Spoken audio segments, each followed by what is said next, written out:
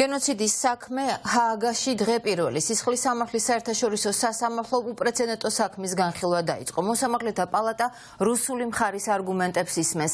კრემლი ოფიციალურ კიევს გენოციდში ადანაშაულებს და ამტკიცებს, რომ უკრაინაში გენოციდის თავიდან ასაცილებლად შეიჭრა.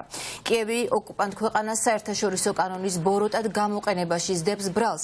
უპრეცედენტო სხდომაში დამატებით 32 ქვეყანა მიიღებს მონაწილეობას, მათ შორის არის ევროკავშირის ყველა ქვეყანა უნგრეთი ის გარდა ისინი სასამართლო საკუთარ პოზიციას 20 სექტემბერს.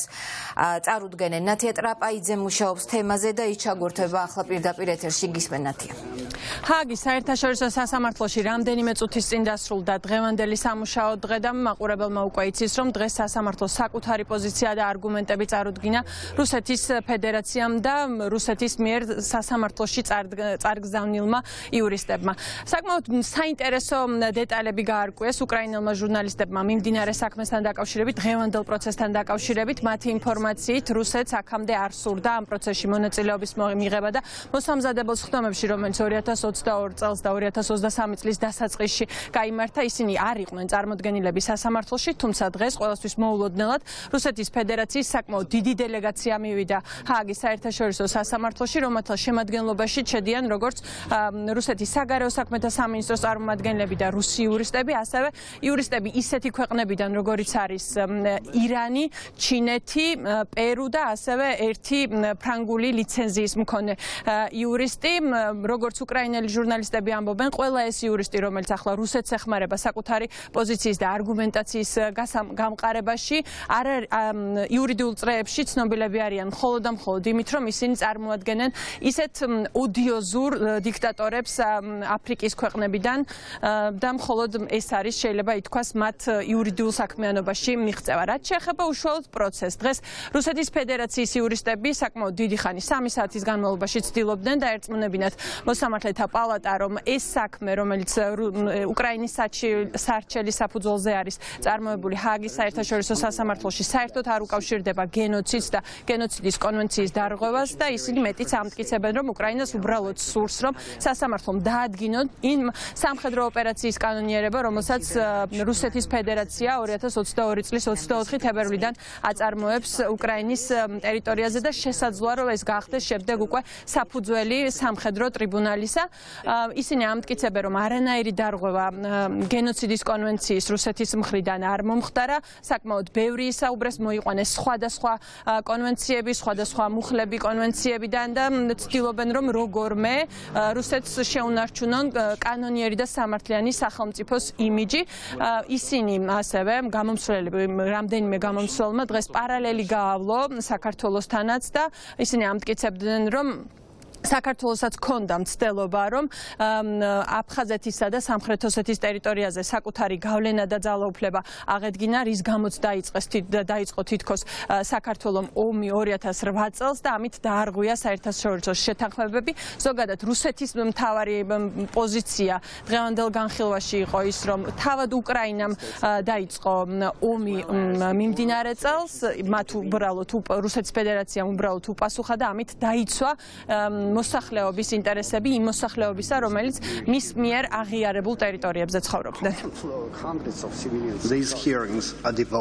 უკრაინა ბრალსდებს რუსეთს, რომ რუსეთმა ბოროტად გამოიყენა გენოციდის შესახებ კონვენცია, რათა ეს დონეცკისა და ლუგანსკის სახალხო რესპუბლიკების დამოუკიდებელ სახელმწიფოებად აღიარებისა და სპეციალური სამხედრო ოპერაციის ჩატარების საბაბად გამოიყენებინა, რაც მტკნარი სიცრუეა. ჯერ ერთი საყოველთაო ცნობილია, რომ რუსეთმა სპეციალური სამხედრო სამხედრო ოპერაცია დაიწყო გაეროს წესდების 51 მუხლის შესაბამისად, რომელიც ინდივიდუალურ და კოლექტიურ თავდაცვას გულისხმობს. ამ უფლებას საერთოდ არანაირი კავშირი არ აქვს გენოციდის კონვენციასთან. სინამდვილეში, როგორც ჩანს, უკრაინის მიერ ამ საკითხის სასამართლომდე მიტანის საბაბი არის რუსეთის მიერ გენოციდის ხსენება, როდესაც საუბარია უკრაინის მიერ დონბასის რეგიონში განხორციელებულ ქმედებებზე გასული 9 წლის განმავლობაში. მას შემდეგ რაც უკრაინას სათავეში ჩაუდგა ნეონაცისტური რეჟიმი.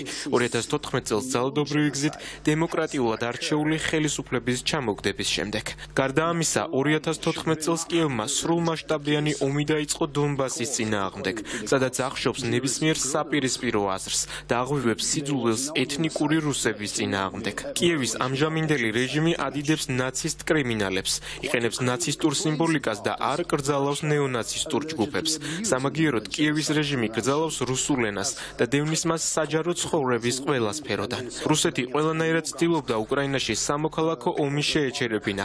აქტიურად მონაწილეობდა ნორმანდის ფორმატში და სამხრივ საკონტაქტო ჯგუფში, რათა გამოსავალი მოეძებნა. სწორედ რუსეთის პრეზიდენტი იყო, ვინც პირველმა გააჟღერა დონბასში მშვიდობის მყოფელების განლაგების მზადყოფნა, მაგრამ კიევმა ამას ხელი შეუშალა.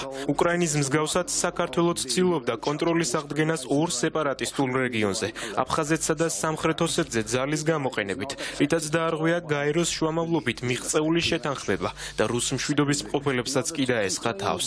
საქართველომაც უკრაინის მსგავსად სცადა შეენიღბა ეს ყველაფერი იმით, თითქოს რუსეთი მათ ქვეყანას დაესხა თავს და სასამართლოში შეიტანა სარჩელი.